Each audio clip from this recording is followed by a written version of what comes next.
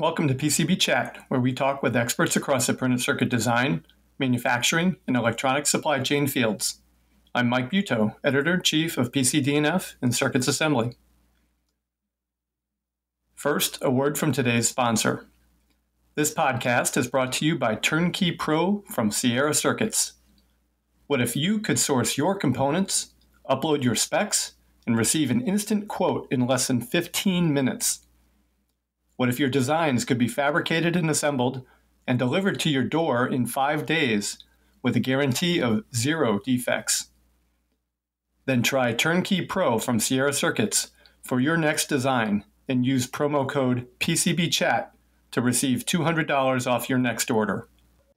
Folks who have tuned in in the past know that I'm always eager to hear about what's going on in the minds of the next generation of engineers. I'm lucky to have several of them with us today. Under the auspices of the Rochester Institute of Technology Center for Electronics Manufacturing and Assembly, also known as CEMA, we have a team of students who have automated pre soldering inspection analysis. We have with us Carmela Stone, Ian Youngs, Ethan Broshar, Bradley Brewster, and they are joined today by Martin Anselm, who is the director of CEMA, and Duane Beck, a visiting lecturer. So, welcome everyone. Welcome. Thank you. Yes, good yeah, to be thanks here. for having us. Hello. Duane and Martin, let's start with you. Could you give our listeners an overview of what CEMA is and maybe touch a little bit on its goals? Sure. So I am the director of the Center for Electronics Manufacturing and Assembly. That's the acronym CEMA. And the, the goals of CEMA Lab is to educate students, graduate students, as well as undergraduate students, and industry in the electronics manufacturing area, specifically surface mount robotics and assembly. We also use CEMA for research in materials and process development and uh, it's been around since 2000 or so. I took over in 2014 as a new faculty member. And Duane, um, maybe you could elaborate a little on what your role is. I teach a course called the uh, Production Systems Design and Production Systems Development. And in here, this is where the graduating seniors will put together some kind of automation. So, in working with uh, Martin, as far as looking at the CEMA lab, we're always looking for ways that the students can take something that's been done by assembly and see if they can automate it. And so uh, he and I started talking back and forth, and we came up with an idea based on a, a project that he uh, produces as a uh, giveaway to the Imagine RIT. And so the students, um, put a lot of effort into it. Within the 15 weeks, we not only designed and built and tested and implemented the automation cell within the CEMA lab. Okay, well, we're going to get into that a little bit more in a moment, but let's first uh, talk with the uh, with the students themselves. I'm going to introduce each of you, and then perhaps you could share a few things about yourself, such as your year of school and maybe your particular engineering interests. Uh, let me start with uh, Carmela Stone all of us, uh, I think, except Ian, are just graduated this past semester. I, right now, I'm working at Thermo Fisher Scientific, so I'm working more on um, medical device or medical labware, um, working on um, COVID uh, related products. What's your general focus? This this class is mainly uh, for the um, manufacturing engineering technology students and now um, the school changed the major to uh, robotics um, and manufacturing. That was the, the major change. Great. Ian, your turn. Okay, so I'm Ian Youngs, and I'm a part time student at RIT. I started my college career at MCC and graduated in 2016 with a mechanical engineering technology associate's degree. And then I began working at Eastman Kodak as a mechanical technician in uh, 2016, and then they graciously offered to send me back to school for engineering in 2017, and I've uh, gone to RIT since the spring of 17. So, in my major is uh, before they made the switch to the robotics manufacturing. So, I guess my my program path is uh, manufacturing engineering technology. Thanks, uh, Ethan. My name is Ethan Broshar. I recently just uh, graduated. Uh, I see myself as an entrepreneur. Uh, currently, I'm working at a food packaging place. Uh, I am a maintenance automation engineer and shift manager. So I have a team of individuals that I lead to uh, keep the lines running. I took that uh, job to further my own goals. I plan to start a factory within the next 10 years and make some money. Great pursuit. Um, how about uh, how about you, Brad?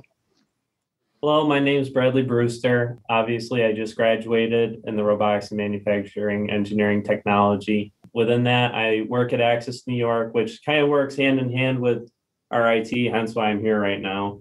Um, my primary job is utilizing cobots to automate cells within other companies to basically work overnight and um, kind of step in where normally people would be.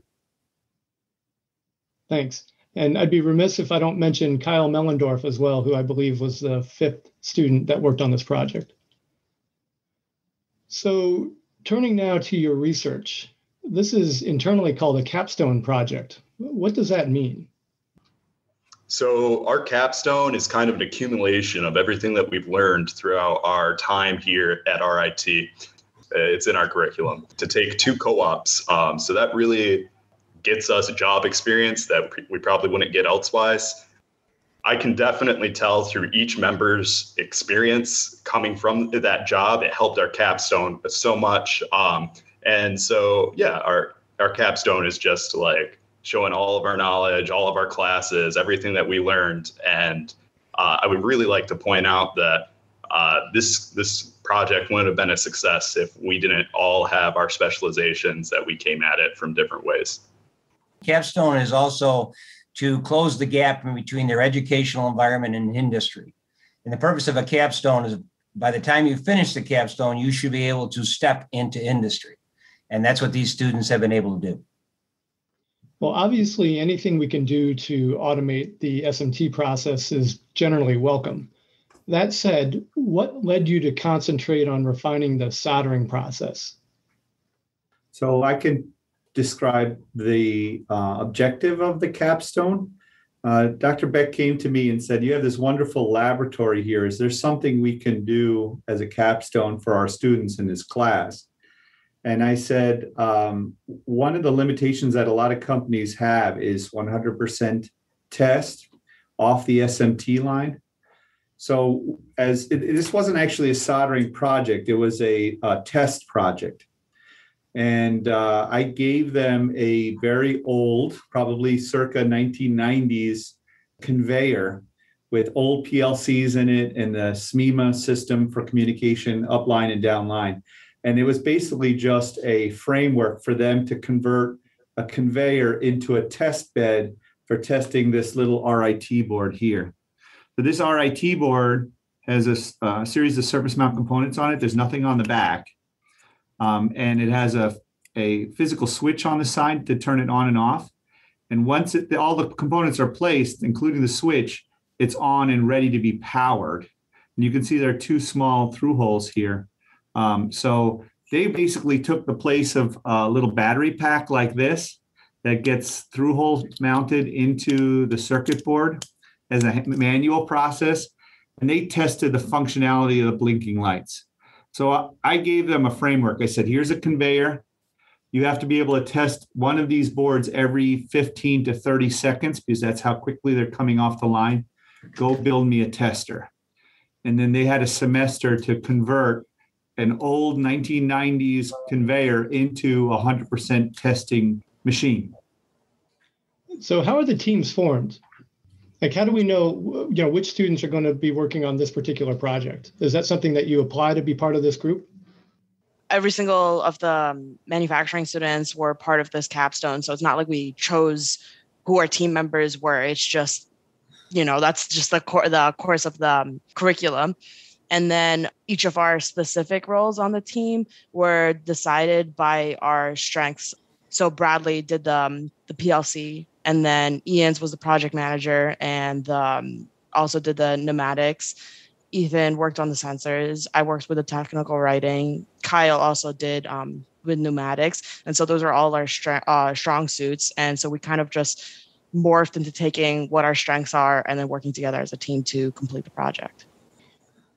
Can you talk a little bit more about how you did um, how you designed the uh, the study and and I mean Martin you know, alluded to the the board itself came from RIT, but it sounds like you know you had to kind of come up with a lot of the rest of it on your own.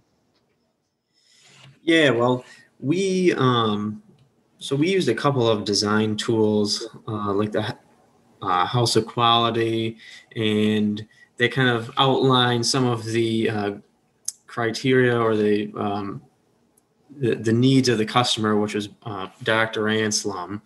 And once we kind of established that, we actually used some more refined design tools like a some design matrices. One was a pro and con chart, and one, you know, where we would brainstorm ideas and narrow it down to a few contenders, and then basically hash out a rough idea of what it uh, was going to look like, and then the you know details that you have no other choice but to decide along the way as things start to develop was more left up to each individual with a specific skill set that dealt with uh, those details.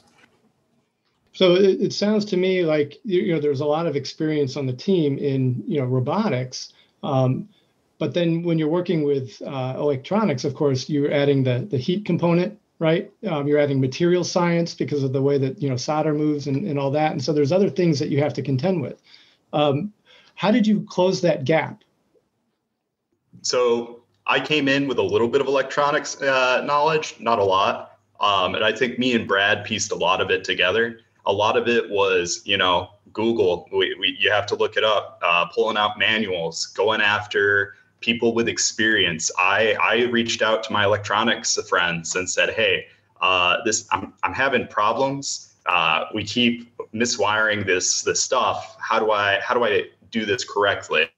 Uh, we also reached out to a few professors that weren't related to this course. Um, and then to flip on that and go to the design side, I know Ian has a lot of fabrication um, background, so he was a huge asset in creating parts and making designs and stuff like that.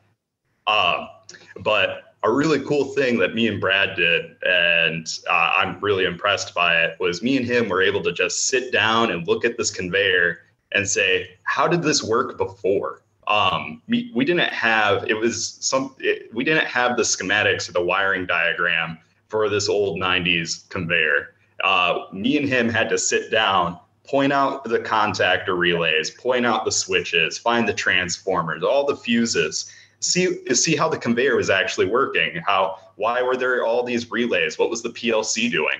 Um, we didn't even have access to the PLC, so we couldn't see the code. We couldn't see the inputs and outputs. We were literally figuring this out in our head by chasing wires, um, and it was really cool and then we ripped it all out. We said we don't need this. This is really old technology, and we uh, we did it all ourselves. And we replaced a lot of through-hole technology with some SMT boards that we designed ourselves. And it was a really cool process. And I I don't know, Brad, if you have anything else to say on that. No, you pretty much hit the nail on the head. It's just trial and error, figuring out stuff as it came about. If you didn't know about it, finding ways and people talk to that do know about it, and then exploiting that in the best way possible. So like Dr. Risenen was a huge asset when it came to the electrical side of everything. Dr. Anselm already had a good knowledge base of what he expected to come out of this, where just being in industry now, a lot of people don't even know what they want. They just want a thing.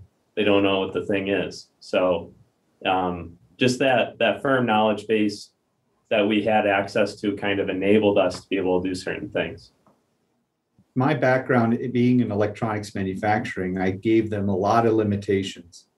I said the footprint of this conveyor can't be any bigger than it is. You know, the board is coming in at this rate, and we need to have repeatability in terms of electrical con- connection to the board where those through holes are. So they had to design their own board stop. They had to design their own vision system. They had to design um, the pneumatic systems. They had to design a lot of things from scratch and integrate all of that. And as Ethan said, the old technology, the old PLCs weren't really uh, an option because they didn't have access to the code. So they gutted this thing, rebuilt it from scratch, and uh, and it really fits. The only thing I need to plug in is it takes 110 volts, so I plug it with a standard plug and supply it with air, and and it works. It's really and they did a lot of quality control analysis too, like how many boards can you run through it continuously before you have an error and things of that nature. So not only did you have to create, but you also had to, you got a lesson in reverse engineering. It sounds like. Uh, it, it, was it was a very interesting experience, and it definitely furthered my electronics um, knowledge based off of how they used to do it.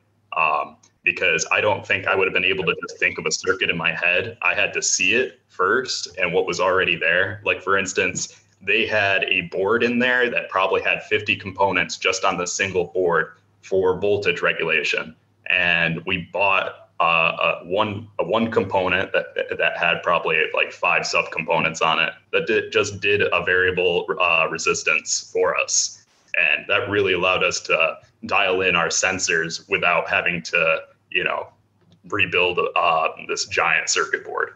Um, so it was cool let's talk about the results, right? So, you know, Martin again kind of touched on this a little bit, but um, you know, I'll let the students brag a bit because uh, the the write up that I read that led me to getting in touch with you in the first place um, suggested that you really cut quite a bit of time off the uh, off the old process.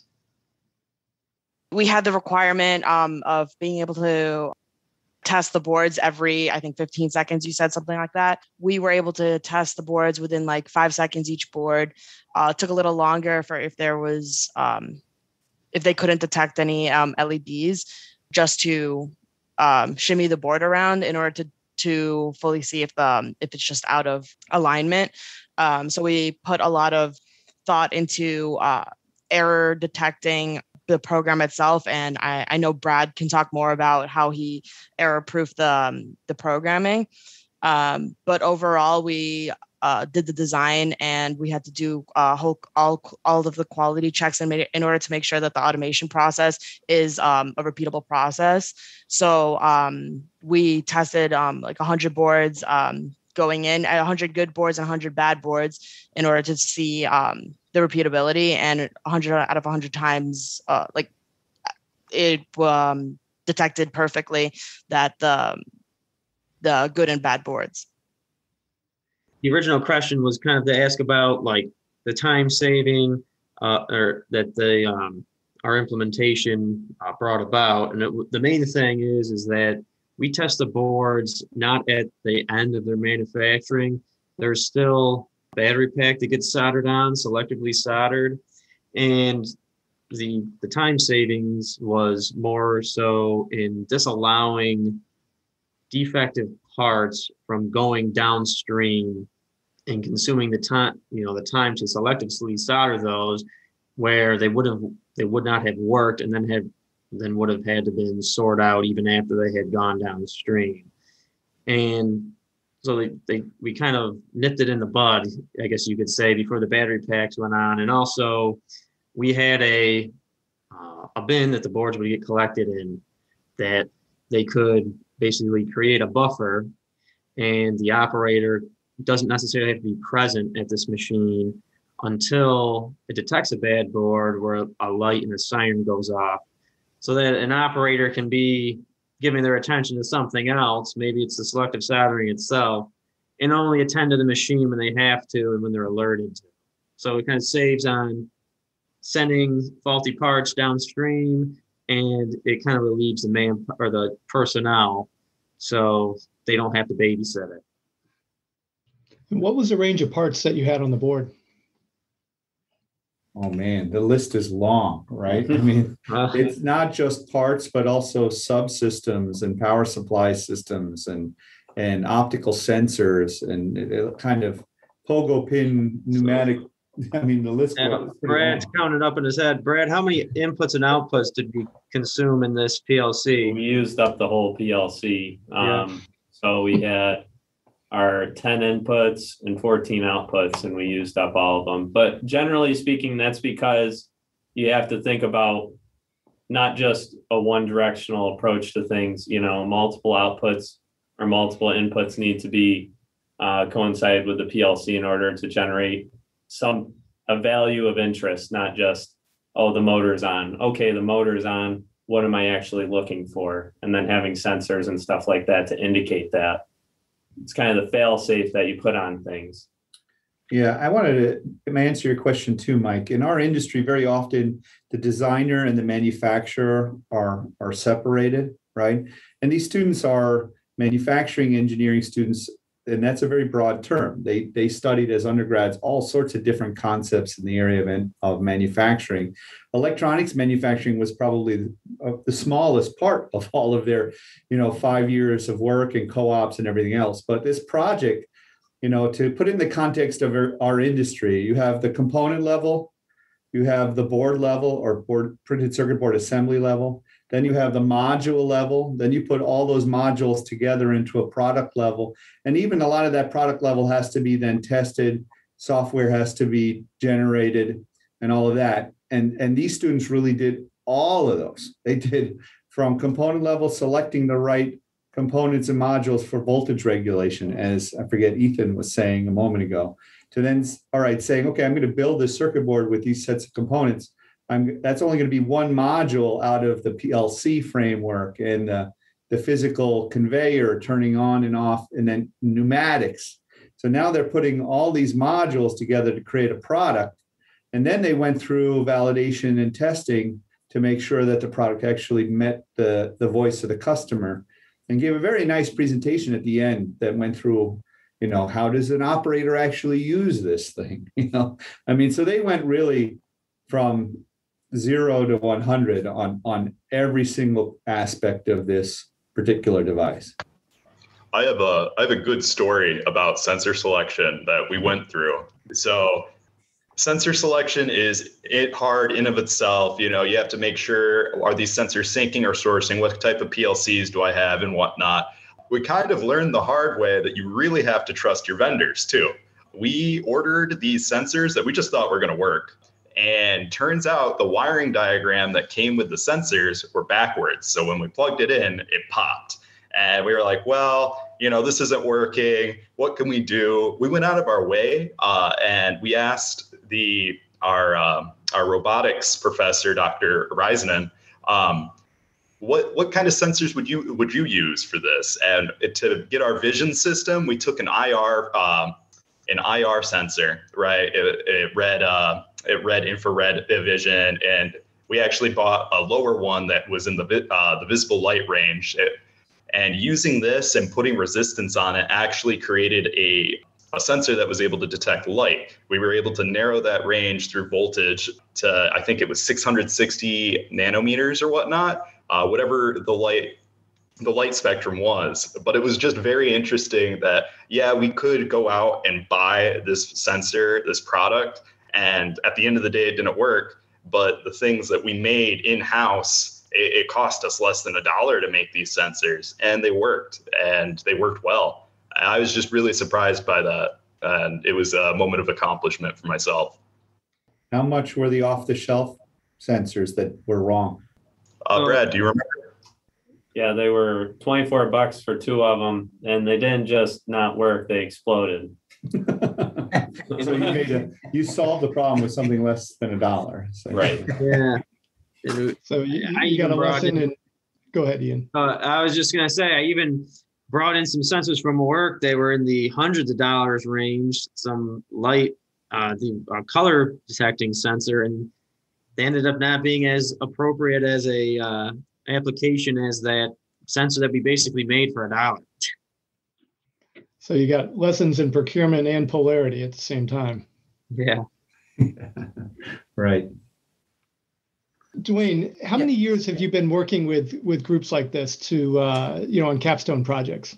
Uh, I've started this in 2012, uh, mm-hmm. doing the capstones. Now, is this is this typical of the uh, of the nature of the of the projects, or is this um, was this sort of exceptional? Oh no, this is this this is very typical. The first one we did was we built a robotic s'mores machine, And from there, we went and we, the next generation, we called it S'mores Point Two. And in there, we were able to manufacture a s'mores machine with robots. And the students built it right from scratch. Then we had an automatic bottling line. And in each case, Mike, we had to take a process that wasn't really um, done, all right, in the industry from this size, because you're supposed to make a cellular unit. And within 15 weeks, they designed and built and tested. And so each one of the products that we did, uh, it's kind of exciting. And matter of fact, when we have these types of projects, we leave it up to the students as to what they want to do. And even though uh, uh, Dr. Anselm and I spent some time in looking at the project, it was still up to the students what they wanted to do. And they knew what their weaknesses were. But I'll say this they overcame any weakness that they had. So you got design experience, you got fabrication experience, you got assembly experience, you got component experience. I mean, there's really quite a bit of things. And yet, how many of you are going to stick with electronics going forward? Just one. you know, what? how, how about Kyle? Uh, I don't know what he's doing. Kyle wants to be a field tech, so it might be. He might do electronics. What I tell my students, though, Mike, and, and I know where you're are leading the group in that question, is that uh, these students, as engineers and as manufacturing engineers, circuit boards are in everything today, right? Even if you're not going to be doing electronics directly, you're going to have suppliers uh, supplying you with materials that they have some experience in now. So, you know, why teach a mechanical engineering student machining, right? They're not going to be sitting at a at an end mill cutting parts, but they need to understand the limitations of the processes that they're designing uh, their products for. So um, that's really been an asset over the years for our students. You know, I, I couldn't agree more, Martin. And I would add, wouldn't you agree that there's value in by knowing what different aspects of the of the um, how to do it yourself, right? allows you to question those who may be working with you or for you down the road to to press on them as to whether they really um, number one understand what it is that they're doing and, and number two are thinking about everything they need to be thinking about just to move a product forward no matter what that product is i mean it gives you some confidence that you know you don't just have to accept somebody else's point of view as being gospel trust but verify I would uh, I would argue a little bit that you do want to know. You do want to be have your engineer walk up to an end mill and start cutting something because you should know quality. You should know, oh, is this acceptable? I've been I've worked at a shop before and I've had engineers come up to me and hand me prints. They don't use datums. They they gave me a picture that can't be created.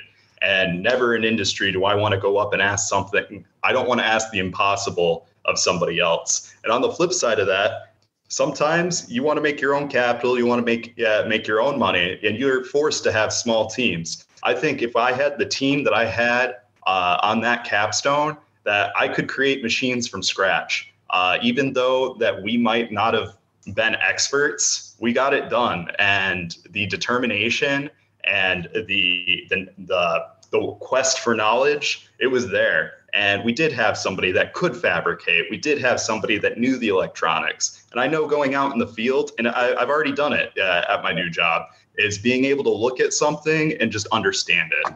And that is vital. Yeah, and I want to piggyback on what Ethan was just saying. I've, as I said, I've been working with teams in this particular capstone since 2012. The reality is, I've never seen a more cohesive team. And when they ran into uh, situations, I didn't have to step in. All right. These, these students knew exactly what was going on. Uh, Ian did a great job as far as the, the project management part. Bradley did a fantastic job on looking at the uh, the PLC, and Carmela did a great job on the on the report, as well as Ethan was had his hands on a lot of different things, especially the sensors, and they were able to do it. And Kyle did a lot of the fabrication work. Um, so they worked together and they didn't it didn't take a lot of micromanaging if anything there was no micromanaging but that's how these students will flourish and you let them see exactly what they can do and they did a wonderful job duane and martin did you learn anything from this I am always learning. That's part of the reason why I became a professor. It's like every day I'm learning something new. Um, I, will be perfectly honest with you. I went into this pretty skeptical. I think the students may remember some of the things they said in the beginning, where you know this was not an easy project. This was very challenging, and uh, you know what I was I was surprised and pleasantly surprised at the level of craftsmanship and quality of what um, they presented. And if anything, what I learned was our students, after five years of education here at RIT, uh, can do almost anything, right? Um, so I was I was really really impressed and uh, by this particular group, and that maybe to the to the detriment of the next class that Duane teaches next year because you know now I may challenge them even more, right? Or or maybe give them uh, something a little bit more uh, difficult to to do. I will say one thing that we tried to do with this particular project is have it be a springboard for further innovation or further improvements on the existing design. So the next group of students may get where these students left off get as a starting point and add options and other functionality and capability that they didn't have time for. So, um, so I learned a lot in terms of what the students are capable of my expertise is more in the lean six sigma quality area. When it comes to some of the technology i'm going to tell you the students had more knowledge than i did and i just watched them work. And as i watched them work uh, especially when it came to the plc because i've always had an interest in it i understand the basics of it but i learned a lot from watching bradley I learned a lot from looking at Ethan and as far as the the sensors, all right, and the way Ian was actually managing the team and asking questions and guiding everybody, and as well as Carmela doing all the writing that she did. The report that they turned in the end was phenomenal. It actually, I learned I don't have to have my hands in a lot of this. All I got to do is facilitate. What I'm really impressed about is that I think all but one of you were undergrads at the time. The team nature of this project, of course, is going to be similar to what, what you're going to experience for much of your careers. Had you had any experience working on a group project like this prior to the capstone? I I haven't. Not of this magnitude, no. Yeah, I'd say that we were part of like every part of the process. I feel like in any industry or any job you would have, you wouldn't be fully involved from like start to finish. The only thing I was going to add to that is here at RIT, a lot of our core classes that are taught through our department have um, projects associated with them, lab projects or what have you, from statics onwards. Um, but this was far more involved. So our students do get a lot of experience working with people that they may not agree with. I don't know if our students can agree, nod their heads, right? You're not always going to work in groups that um, you see eye to eye with with people. And uh, our RIT does prepare our students pretty well for those types of scenarios. But I think they did they did a great job. Yeah, and I like I'm going to piggyback on that too. When you look at the entire MFET program, there's industry experience that each one of the professors bring to those come to the to the students as well as their ability to to allow the students to be open as well as some growth within that. So I think the whole engineering technology program is really applications driven and allows the students to really get in dive deep within a project and succeed as a result of the of the system and the faculty that we have within the program. Ethan had mentioned earlier that part of the as part of your research you were picking up the phone or at least reaching out to uh, folks in the industry for help. Um, how daunting was that? And you know, what was the response when you when you actually reached out? You know, I'm guessing probably most of it was by email, but did you ever have to pick up the phone and call anybody? No, so I'm a very social butterfly. Um, I'm the type of person that can work a crowd. I'm not your typical engineer. You can find me in the club trying to find new resources. Every every friend that I make is somebody that I can call upon in the future, and that's something that I definitely push for engineers: is know your assets know who your friends are, and have the knowledge to know if they know what they're talking about. So picking up the phone, no. Uh, I'm sure all these guys could tell you that I just randomly met these guys in class or I was at a party somewhere and that's what you need to do. You need to have your group. You need to have your people if you want to go far, and because you're not going to know everything.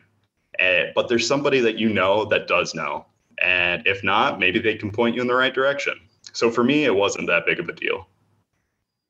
Anybody else? Oh yeah, I made a really good friend talking to some guy in uh, Mississippi talking about PLCs. He was an engineer for 40 years, and he was a wealth of experience. I wish I got to meet the guy face to face because I ended up best of friends with him after an hour conversation. I still think about it. I'm like, that guy was probably one of the nicest people I've ever met. And did you buy the PLC from him or? That PLC that we ended up having was the version of it, but he told me to go through my company because I could get it cheaper. Overall, the guy was just an amazing wealth of knowledge. He, he helped me select things, told me things to look for in PLCs, kind of walked me down that inherent line that everybody kind of messes that part of it up because it's there's so much knowledge that has to go into selecting a PLC. You sit there and think, oh well, it just has some things that you wire into it and it works and it's perfect. There's connectivity, there's, you know, how are you going to wire the sensors? Are they sinking sourcing, as Ethan said? And then all of it put together is just being able to talk to engineers like that and then get that response back probably saved me weeks, if not months, of research and trial and error. And I, I, think that, I don't know, without that knowledge between him and people I work with, I couldn't have bridged that gap so quickly. And that was a cold call? Yeah, that was just, uh, I just looked up a number online and there he was. It was uh, because generally it's through distributors. Mm-hmm. So um, you never actually buy from like the actual manufacturer. So I didn't know about that either. And now I work for one, so now I get it. But Ian, would you agree with all this? Yeah, the um, a lot of the people we approached were um, excited to work with us. Dr. Reisenen was interested in our project. Uh, at the start, we had a few different ideas, and kind of the way we went was the way he uh, uh, really got a kick out of the way we went with it. And he was a wealth of knowledge. And there were people that um, there was a particular shop called the Construct, and they started catching wind of our project, and they'd ask us for updates when we'd come by, and they let us use their uh, laser cutter and all of their electronics and soldering equipment in there. And there's kind of like a uh, I don't know, some spectators on the sidelines rooting for us as we were coming to the finish line on this. And um, that kind of um, having that be known throughout campus, uh, I think that helped us. They kind of gave us the momentum at the end. And to add to that, Dr. Reisenen getting excited about a project is a feat in and of itself. So. yeah. Duane, is it incumbent on the faculty to find folks from industry to help, uh, or is that really, uh, you know, the role of folks like uh, Martin and yourself? Well, you know, that's a great question because, like Ian did, he went to Kodak, and as well as other faculty, we have we have a great relationship with all the faculty, and you know where their strengths are, and you also know that it's a network of individuals out there. So the students uh, have done a number of times, gone out to industry, made phone calls, drive someplace, go wherever it takes to get this project done. And the whole faculty staff, uh, faculty and staff at RIT and the CET uh, college does the exact same thing. We really look at trying to build a relationship with the industry out there. Um, you know, I did want to say one other thing before I forget. You know, you talk about from a from a project perspective, they met every single criteria that you would do in the world. So, for instance, you have toll gates, you have budgets; they were under budget. And you know, when you talk about passion and dedication, this class runs three hours for three hours for two classes. That's six hours a week. I can't tell you how many hours, but each one of them, I would say, put it on an average of 30 to 40 hours per week on this coming in at night during the weekends. That's pure dedication. And as a result of that, that is enthusiasm that everybody starts looking and say, wow, I really want a piece of that. So it is something that they, the whole college um, really just does a great job in bringing everybody into the process.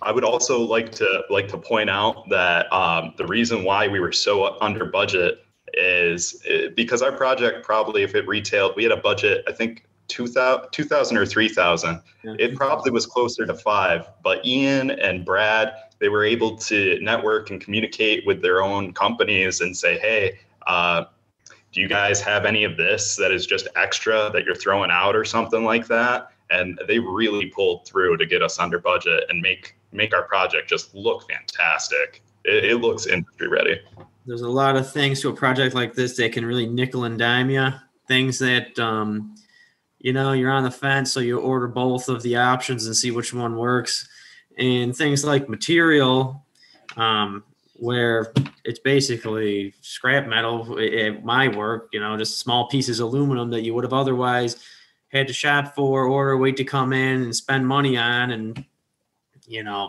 those are graciously donated.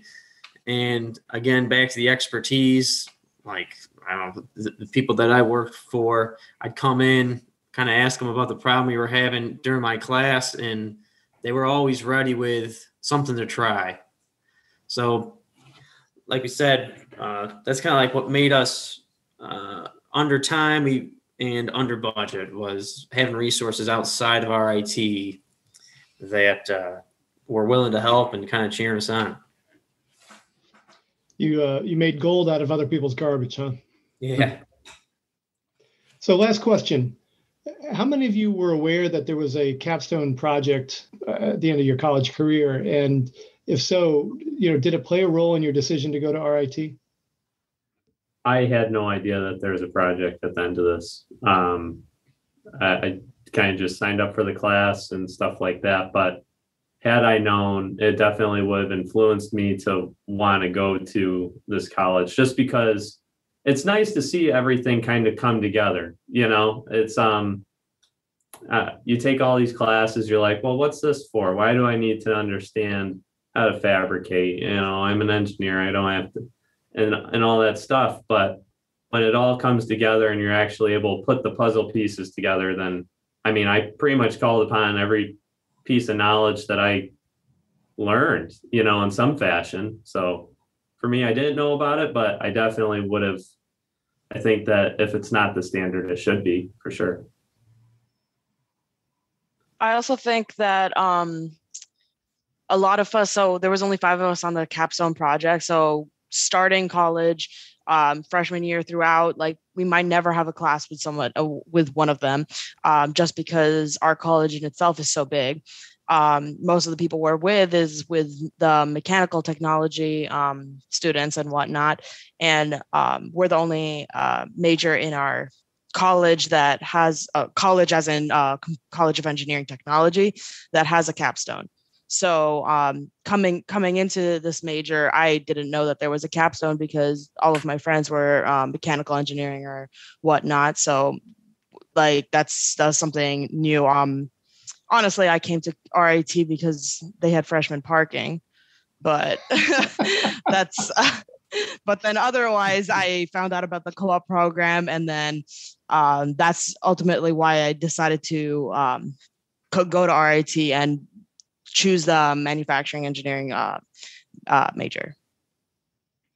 You know, I'm just going to jump in here. The the parking thing is not a small deal. Okay, so I'm I'm 53, so I graduated in 1990, but I had a, I went to University of Illinois. I had, a, I had a car on campus, and I guarantee you, at that time, I spent more on parking tickets than I did on tuition. it's not a small deal prior to COVID, don't move, don't move your car because there wouldn't be a spot there. And I'm telling you, there was no spots in the whole campus. I believe it. Ian and Ethan, how about you? Um, you know, were you aware of the capstone uh, project uh, when you uh, matriculated RIT?